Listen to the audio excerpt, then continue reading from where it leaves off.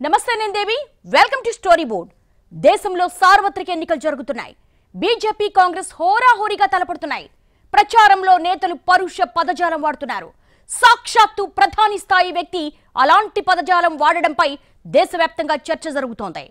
ఇక్కడ ప్రధాని ఏమన్నారు అనే దానికంటే అన్న సమయం సందర్భం ఆ మాటల వెనుక వ్యూహంపై సర్వత్రా ఆసక్తి వ్యక్తమవుతోంది. ప్రధాని మాటలు కాంగ్రెస్ స్పందనలు వెరసి ఈ వ్యవహారం ఈసీ వరకు వెళ్ళింది. దీన్ని ఓటర్లు ఎలా చూస్తున్నారనే అంశం ఇప్పుడు కీలకం కానుంది. కాంగ్రెస్ మేనిఫెస్టోను టార్గెట్ చేస్తూ మోడీ చేసిన వ్యాఖ్యలపై భిన్నాభిప్రాయాలున్నాయి. ఉన్న విషయమే ప్రధాని చెప్పారని బీజేపీ అంటుంటే ఆయన మాటలు హేట్ స్పీచ్ అని కాంగ్రెస్ ఈసీకి ఫిర్యాదు చేసింది. అసలు కాంగ్రెస్ మేనిఫెస్టోలో ఏముంది? ప్రధాని పరుష పదజాలం వాడారా లేదా? Chicken masala.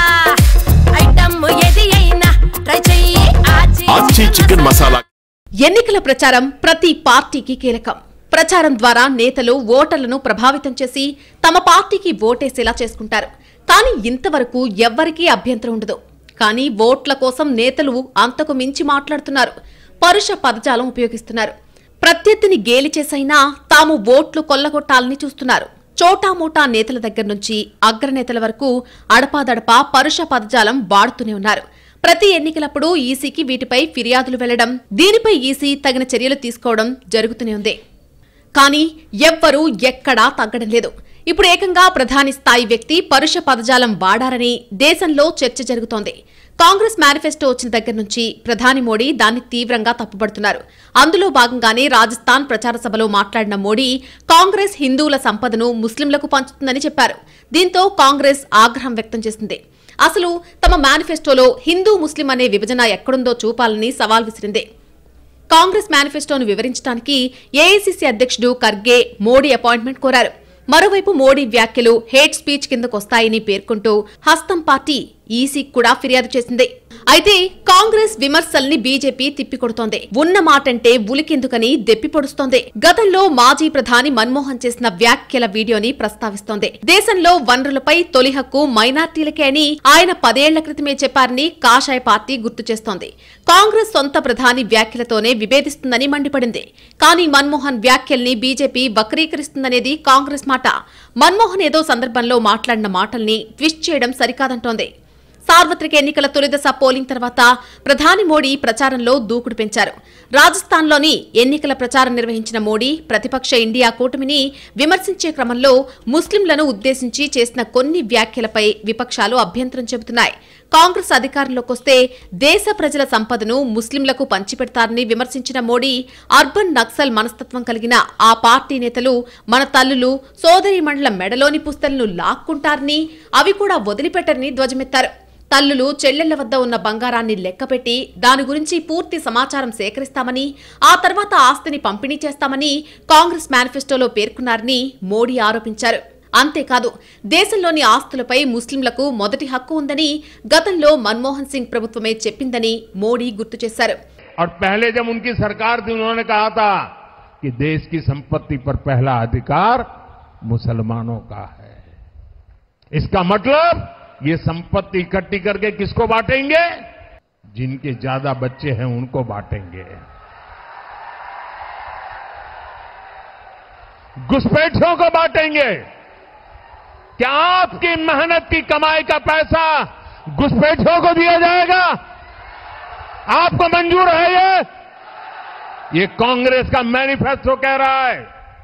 మోడీ వ్యాఖ్యలపై ప్రతిపక్ష ఇండియా కూటమి తీవ్రంగా స్పందించింది. అసలు సమస్యల్ని పక్కదోవ పట్టించే ఉద్దేశంతో ప్రధాని ఇలాంటి దిగజారుడు వ్యాఖ్యలు చేస్తున్నారని ఆగ్రహం వ్యక్తం చేసింది. దేశంలోని ఆస్తులపై ముస్లింలకు మొదటి హక్కు ఉందని గతంలో కాంగ్రెస్ ప్రభుత్వం చెప్పింది. ఈ లెక్కన దేశ ప్రజల ఆస్తులను ఎక్కువ మంది పిల్లలు ఉన్నవారికి పంపిణీ చేయనున్నారు. మీ ఆస్తులను చొరబాటుదారులకు పంచుతారు. మీరు కష్టపడి సంపాదించిన ఆస్తిని వారికి ఇవ్వడం మీకు ఆమోదయోగ్యమేనా? మీ కష్టార్జితాన్ని జప్తు చేసే హక్కు ప్రభుత్వాలకు ఉందా అని మోడీ ప్రశ్నించారు. ఈ సందర్భంగా రెండు వేల ఆరులో మాజీ ప్రధాని మన్మోహన్ సింగ్ చేసిన వివాదాస్పద ఫస్ట్ క్లెయిమ్ వ్యాఖ్యలను మోడీ ప్రస్తావించారు. ప్రజల్ని పక్కదోవ పట్టించేందుకే మోడీ ఇలాంటి వ్యాఖ్యలు చేస్తున్నారని రాహుల్ గాంధీ విమర్శించారు. తొలిదశ పోలింగ్లో బీజేపీకి వ్యతిరేక ఓట్లు పడ్డాయని అర్థమైందని అందుకే ఇలా దిగజారిపోయి మాట్లాడుతున్నారని ఆగ్రహం వ్యక్తం చేశారు. కాంగ్రెస్ మేనిఫెస్టోకి ఊహించని స్పందన వస్తుందని ఆయన అభిప్రాయపడ్డారు. కేంద్రంలో హ్యాట్రిక్ గెలుపు కోసం బీజేపీ పదేళ్ళ తర్వాత అధికారంలోకి వచ్చి తీరాలని కాంగ్రెస్ ఎన్నికల్లో హోరాహోరీగా తలపడుతున్నాయి. ఈ తరుణంలో ప్రచారం పోటాపోటీగా సాగుతోంది. పార్టీలు సొంత ప్రచార వ్యూహాలతో పాటు ప్రత్యర్థుల ప్రసంగాల్ని స్కాన్ చేసే పనిలో ఉన్నాయి. ఇదే సమయంలో మోడీ వ్యాఖ్యల్ని స్కాన్ చేసిన కాంగ్రెస్ ఇవి తీవ్ర అభ్యంతరకరమని వాదిస్తోంది. పైగా పార్టీలన్నీ సమానమే అని ఈసీ నిరూపించాలని సవాల్ విసురుతోంది. Of course election commission must take recognition of this ఏమండి? ఇంతకంటే చిన్న మాటకు చెప్పిన వాళ్ళనేమో మీరు నలభై ఎనిమిది గంటలు ప్రచారం చేయకూడదని చెప్పిన వాళ్ళు ఒక మహిళ పైన మీరు అవమర్యాదగా మాట్లాడినారని చెప్పి చట్టం అమలు చేసిన వాళ్ళు ప్రధానమంత్రి పైన ఏ చట్టం అమలు చేస్తారు? ఐఎమ్ వెయిటింగ్ టు సీ ఇది ఫ్రీ అండ్ ఫెయిర్ ఎలక్షన్ అనేది మనం భావిస్తే I want to see what action election commission will take only then I can believe that this will be a free and fair election BJP Modi మంత్రంతోనే ఎన్నికల ప్రచారంలో దూసుకెళ్తుందని కాంగ్రెస్ అర్థం చేసుకుంది. ఈ తరుణంలో మోడీ మాట్లాడే ప్రతి మాటను మూడు వందల అరవై డిగ్రీల కోణంలో విశ్లేషిస్తుంది. ఏ మాత్రం తేడా వచ్చినా వదలకూడదని డిసైడ్ అయింది. ప్రధానికి చిన్న అవకాశం ఇచ్చినా పెద్ద నష్టం చేస్తారని అందుకే మొదటే నిలువరించాలనే వ్యూహరచన కూడా చేసినట్టు కనిపిస్తోంది. గతంలో మాదిరిగా బీజేపీ అరిచి గోల చేసి విపక్షాలను అదరగొట్టలేదని కాంగ్రెస్ నేతలు అంటున్నారు. పదేళ్ళుగా బీజేపీ వ్యూహాలను కాచి వడపోసినట్టే మాట్లాడుతున్నారు. పదే పదే కాంగ్రెస్కు అధికారం దక్కుతుందని ధీమా వ్యక్తం చేస్తున్నారు. అదే సమయంలో మోడీ గీత దాటారని ముప్పేట దాడి చేస్తున్నారు. గతంతో పోలిస్తే కాంగ్రెస్ ఈసారి వ్యూహాత్మక ఎత్తుగడలతో ముందుకెళ్తున్నట్టు కనిపిస్తోంది. అటు బీజేపీ కూడా ఎక్కడా తగ్గడం లేదు. మోడీ వ్యాఖ్యలకు ఆధారం కూడా చూపించాక ఈసీకి ఫిర్యాదు చేయడమేంటని ప్రశ్నిస్తోంది. మేనిఫెస్టోలో హిందూ ముస్లిం పదాలు లేకున్నా పరోక్షంగా అదే అర్థంలో కాంగ్రెస్ హామీలున్నాయని ఆరోపిస్తోంది. ఇప్పుడు ప్రధాని వ్యాఖ్యలపై బీజేపీ కాంగ్రెస్ మధ్య జరుగుతున్న మాటల యుద్ధం ఎటు దారితీస్తుంది? దీనిపై ఈసీ ఎలాంటి స్టెప్ తీసుకుంటుంది అనేది చూడాల్సి ఉంది. ఇప్పుడు దేశమంతా మోడీ అసలు ఏమన్నారు అనే అంశం గురించే చర్చిస్తోంది. కాంగ్రెస్ మేనిఫెస్టోకి మోడీయే పబ్లిసిటీ ఇస్తున్నారని కూడా హస్తం పార్టీ నేతలు చెప్పుకుంటున్నారు. అదే నిజమైతే గొడవెందుకని బీజేపీ కౌంటర్ ఇస్తోంది. రెండు జాతీయ పార్టీల మధ్య మైండ్ గేమ్ పతాక స్థాయిలో నడుస్తోంది. మొదట ప్రత్యర్థి మైండ్పై పైచేయి సాధిస్తే గ్రౌండ్లో గెలవడం పెద్ద కష్టం కాదనే వ్యూహంతో రెండు పార్టీలు ఢీ అంటే ఢీ అంటున్నాయి. కింద పడ్డా పైచేయి అనిపించుకోవాలని తాపత్రయపడుతున్నాయి. కాంగ్రెస్ బీజేపీని ధీటుగా ఢీకొట్టలేకపోతుందని విపక్షాలే మాట్లాడుతున్న తరుణంలో ఈసారి హస్తం పార్టీ కూడా తగ్గేదిలే అంటోంది. ఎన్నికల్లో గెలిపోవటంల సంగతి తర్వాత మొదట పోరాటం విషయంలో మాత్రం కడదాకా వెనకడుగు వేసేది లేదని ప్రచార వ్యూహంతో చెప్పకని చెబుతోంది. మారిన కాంగ్రెస్ వ్యూహాన్ని గమనిస్తున్న బీజేపీ కూడా ఎత్తుకు పై ఎత్తులేస్తోంది. తెర ముందు అగ్రనేతల ప్రచారంలో జనాన్ని ఆకట్టుకునే ప్రయత్నం చేస్తున్నాయి. తెర వెనుక పార్టీల థింక్ ట్యాంక్లు ప్రచార శైలిని విశ్లేషించడంతో పాటు ప్రత్యర్థులపై ఎక్కడ పైచేయి సాధించాలి అనే అంశాలను సూచించడంలో బిజీగా పనిచేస్తున్నాయి. రెండు పార్టీల వార్ రూమ్లు ఇదే పని మీద ఉన్నాయి. ఇప్పటిదాకా అగ్రనేతల ప్రచారం ఎలా సాగింది? ఆ ప్రచారానికి ఎక్కడ ఎలాంటి స్పందన వచ్చింది? ఎక్కడ లోపాలు సరిదిద్దుకోవాలని అనే అంశాలను ఎప్పటికప్పుడు నేతలకు చేరవేస్తున్నాయి. దీంతో దశల వారీగా జరిగే ఎన్నికల్లో పార్టీలకు ఎక్కువ లబ్ధి చేకూరేలా నేతలు వ్యూహరచన చేస్తున్నారు. ప్రస్తుతం రోజువారీ ప్రసంగాల్లోనూ ఎప్పటికప్పుడు మార్పు కనిపిస్తోంది. చోటామోటా నేతలు అవగాహన లేక కొన్నిసార్లు గీత దాటి మాట్లాడుతున్నారు. కానీ అగ్రనేతలు అలా మాట్లాడారంటే ఖచ్చితంగా దాని వెనుక చాలా లెక్కలుంటాయని బహుముఖ వ్యూహం ఉంటుందనే వాదన గట్టిగా వినిపిస్తోంది. కొన్నిసార్లు అది ట్రయల్ అండ్ ఎర్రర్ వ్యూహం కావచ్చు. మరి కొన్నిసార్లు ప్రత్యర్థిని ఉచ్చులోకి లాగే ప్రయత్నమై ఉండొచ్చు. ఇంకొన్నిసార్లు కాస్త డ్యామేజ్ అయినా ప్రత్యర్థికి ఎక్కువ డ్యామేజ్ కలగాలనే వ్యూహం కూడా కావచ్చు. అందుకే అగ్రనేతల మాటల్ని ప్రత్యర్థి పార్టీలు చాలా జాగ్రత్తగా విశ్లేషిస్తున్నాయి. పైకి ఖండన మండలంతో హడావిడి చేస్తున్నా అంతర్గతంగా అసలు విషయం ఏంటా అని కూపీలాగుతున్నాయి. దీనికోసం గత ఎన్నికల ప్రచార సరళి గతంలో అగ్రనేతలు మాట్లాడిన మాటలు ఓటర్లపై వాటి ప్రభావం లాంటి డేటా తీసుకుని మరీ విశ్లేషిస్తున్నాయి. రాజకీయ చదరంగంలో ఒక్క ఎత్తు తప్పుగా వేసినా ఆట ముగిసిపోతుందనే అప్రమత్తతో పార్టీలు చాలా జాగ్రత్తలు తీసుకుంటున్నాయి. ఎన్నికల ప్రచారంలో పరుష పదజాలం వాడటం కొత్తేమీ కాదు. గతంలోనూ అన్ని పార్టీల నేతలు అలా మాట్లాడినవారే అయితే ప్రధాని స్థాయి వ్యక్తి అలా మాట్లాడొచ్చా అని కాంగ్రెస్ లాజిక్ తీస్తోంది. మీరు చేసిన వ్యాఖ్యల ఆధారంగానే మోడీ మాట్లాడారని బీజేపీ కౌంటర్ ఇస్తోంది పరుష పదజాలం ఎవ్వరూ మాట్లాడకూడదు. ప్రధాని స్థాయి వ్యక్తి అంత దిగజారుతారా అనేది కాంగ్రెస్ పాయింట్. అది పరుష పదజాలమని మీరెలా సర్టిఫై చేస్తారు? దశాబ్దం క్రితం మీ ప్రధాని అన్న మాటల్నే మోడీ చెప్పారు. దానికే అంత ఉలికెందుకు? ఇది బీజేపీ కౌంటర్. ఇలా రెండు జాతీయ పార్టీలు ఢీ అంటే ఢీ అంటున్నాయి. వ్యూహాత్మక ఎత్తుగడలతో రాజకీయాన్ని రక్తి కట్టిస్తున్నాయి. అసలు పరుష పదజాలం అంటే ఏంటి? హేట్ స్పీచ్కు నిజమైన నిర్వచనం ఏంటి? ఇలాంటి అంశాలపై చర్చ పెడుతున్నాయి. ఆధారాలతో సహా కాంగ్రెస్ పార్టీ వైఖరిని మోడీ బట్టబయలు చేస్తుంటే తట్టుకోలేకపోతున్నారని బీజేపీ అంటోంది. హేట్ స్పీచ్ను కప్పిపుచ్చుకోవడానికి పాత ప్రసంగాన్ని ట్విస్ట్ చేస్తున్నారు అనేది కాంగ్రెస్ కౌంటర్. ఈ రెండు పార్టీల వాదోపవాదాలు ఎక్కడా తెగడం లేదు. ఈసీ మీద కూడా పరోక్షంగా ఒత్తిడి పెంచే ప్రయత్నం చేస్తోంది. అయితే ఇలాంటి సందర్భాల్లో పార్టీలు ఊహించని రీతిలో స్పందించడం ఈసీకి అలవాటే. ఈసారి కూడా ఈసీ ఏదో ఒక నిబంధనతో కొట్టి తమపై ఒత్తిడిని దూదిపించేలా తేలగొడుతుందనే అంచనాలున్నాయి. ప్రస్తుతానికి కాంగ్రెస్ ఫిర్యాదు చేసింది కాబట్టి బీజేపీ స్టెప్ ఏంటో కూడా చూడాల్సి ఉంది. బీజేపీ కూడా తిరిగి ఫిర్యాదు చేస్తుందా? లేకపోతే అసలు ఏం జరిగిందో ఈసీకి చెబుతుందా అనేది చూడాల్సి ఉంది. మోడీ పరుష పదజాలం వాడారని దేశ ప్రజల మనసుల్లో రిజిస్టర్ చేయాలని కాంగ్రెస్ బలంగా ఫిక్స్ అయినట్టు కనిపిస్తోంది. ఆ పార్టీ అధికార ప్రతినిధి దగ్గర నుంచి అగ్రనేత రాహుల్ గాంధీ వరకు అందరూ మోడీది హేట్ స్పీచ్ అని చెబుతున్నారు. హిందువుల ఆస్తులన్నీ గుంజుకోనంట ముస్లింలకు వంచి పెడతారంట. ఈ దేశ ప్రధానమంత్రి ఈ రకంగా మాట్లాడడం ఈ దేశానికి గౌరవమా అని నేను అడుగుతున్నా. నేను అడుగుతున్నా ఈడున్న మా మిత్రులందరూ మీ మీ నాయనలు మీ చిన్నాయనలు మీ తాతలు చిన్న తాతలు పెద్ద తాతలు లేకపోతే మీ అన్నదమ్ములు తండ్రి కొడుకు ఆస్తి ఇవ్వాలన్నా చట్టం ఉంది చట్ట ప్రకారం ఆస్తి బదిలీ చేయాలి. అన్నదమ్ములు ఆస్తులు పంచుకోవాలన్నా చట్ట ప్రకారం పెద్ద మనుషులను కూర్చొని తెంచుకొని విరాసత్ తీసుకొని విరాసత్ ప్రకారం అన్నదమ్ముల ఆస్తులు తీసుకోవాలి. ఒకటి ఆస్తి ఇంకోటి ఆస్తికి మారాలంటే సబ్ రిజిస్ట్రార్లో పోయి రిజిస్ట్రేషన్ చేసి మొత్తం కనుక్కోవాలి. అయితే ప్రధాని ఏమన్నారో ఇప్పటిదాకా రాజస్థాన్ ఓటర్లకి తెలుసని కానీ కాంగ్రెస్ వైఖరితో అది దేశమంతా ప్రచారం అవుతుందని బీజేపీ చెబుతోంది. ఇప్పుడు దేశ ప్రజలంతా కాంగ్రెస్ మేనిఫెస్టోని స్కాన్ చేస్తారని వారు కూడా మోడీ అభిప్రాయానికే మద్దతు పలుకుతారని కాషాయ పార్టీ నమ్మకంగా చెబుతోంది. మోడీపై ఎదురుదాడి చేస్తున్న కాంగ్రెస్ రేపు ఓటర్ల అభిప్రాయాలు ఎలా మారుస్తుందని ప్రశ్నిస్తోంది. కాంగ్రెస్ నిజస్వరూపం ఓటర్ల ముందు పెడుతున్నామని బీజేపీ అనుకుంటోంది. మోడీ అసలు రంగేంటో తానే బయట పెట్టుకుంటున్నారని కాంగ్రెస్ సంబరపడుతోంది. ప్రతి పార్టీ తామే పైచేయి సాధించామని భావిస్తోంది.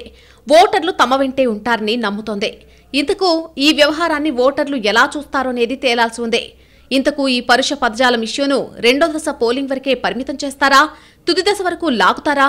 ఇందులో ఇంకెలాంటి ట్విస్టులుంటాయనేది చూడాల్సి ఉంది. ఒకవైపు పరుష పదజాలంపై చర్చ జరుగుతోంది. మరోవైపు రెండు జాతీయ పార్టీల వ్యూహరచనపై కూడా చర్చ జరుగుతోంది. అసలు సిసలు రాజకీయం చూస్తున్నామని కూడా కొందరు మాట్లాడుకుంటున్నారు. కాంగ్రెస్ నాయకులు ఏమంటారంటే మన రాజ్యాంగంలో ఏముంది ఏముంది?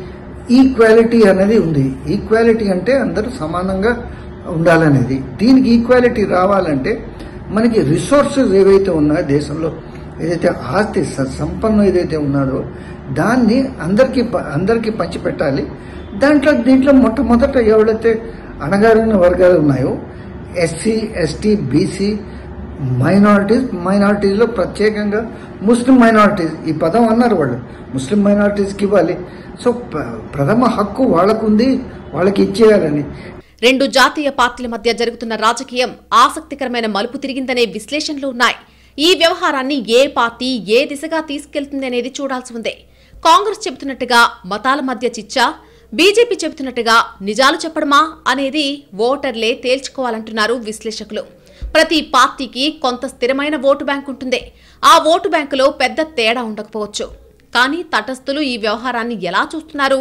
ఏ పార్టీ వారిని ఎక్కువగా ప్రభావితం చేస్తుందనేది తేలాల్సి ఉంది. ఈ అంశమే ఎన్నికల ఫలితాల్ని డిసైడ్ చేస్తుందనే వాదన గట్టిగా వినిపిస్తోంది. రాజ్యాంగం మేనిఫెస్టోలో హిందూ ముస్లిం అని మాట్లాడడానికి వీల్లేదు.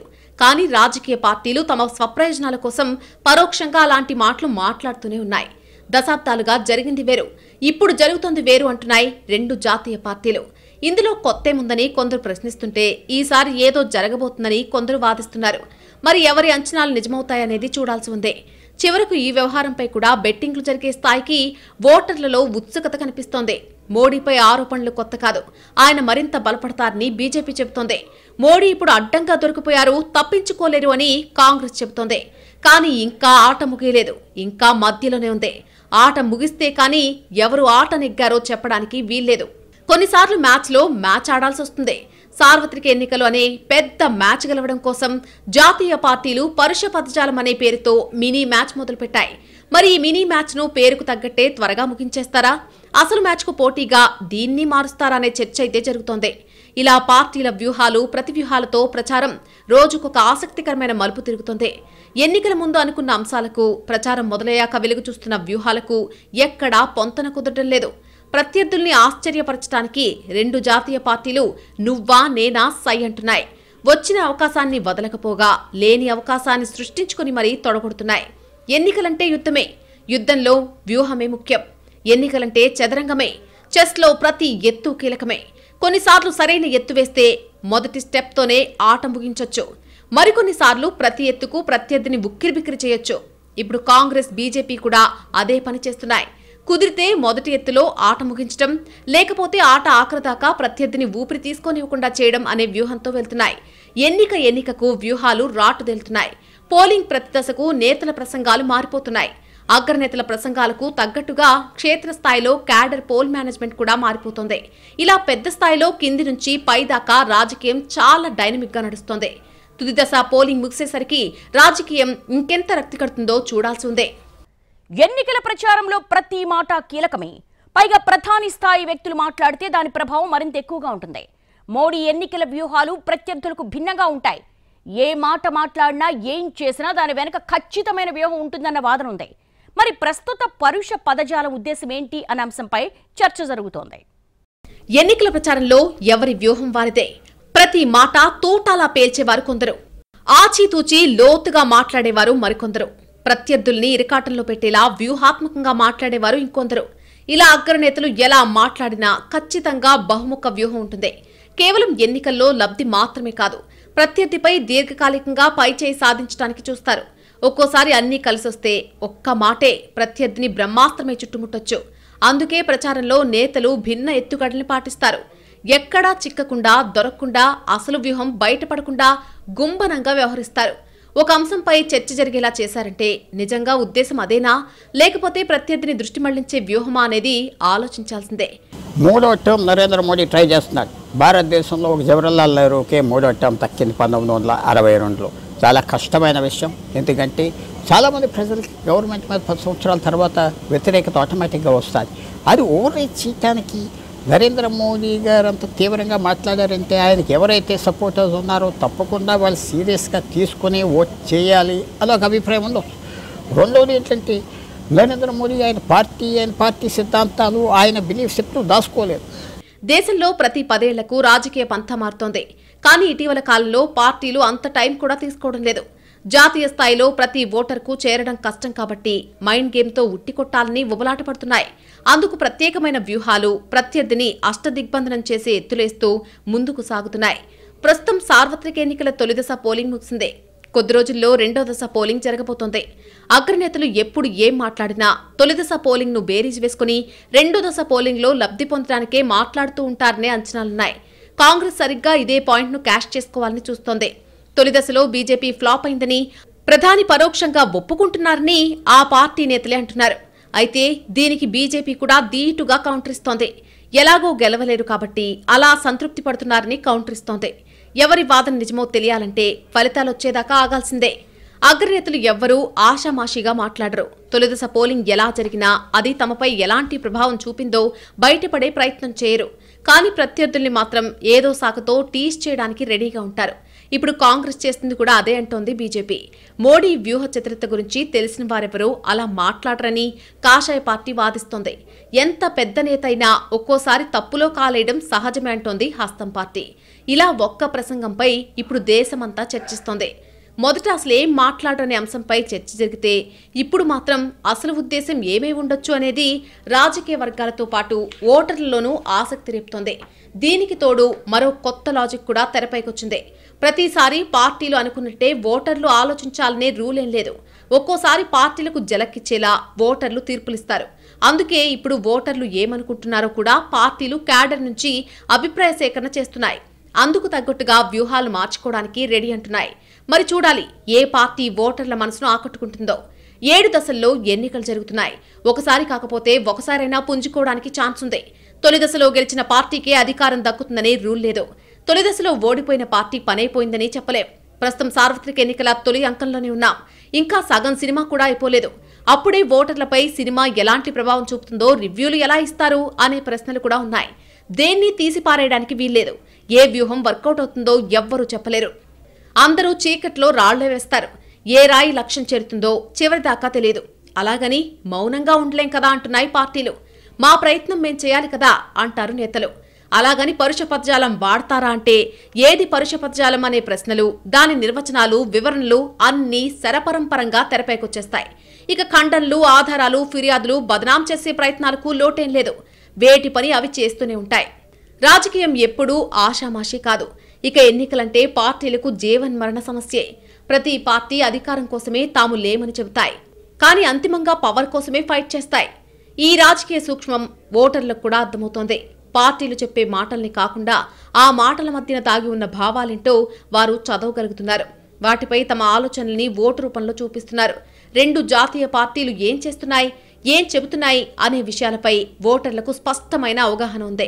తమకు నచ్చిన పార్టీని కొన్నిసార్లు క్షమించడానికి మెచ్చిన నేతను చిన్న పొరపాటుకే శిక్షించడానికి దేనికైనా వారు చాలా ఫ్లెక్సిబుల్గా ఉంటున్నారు.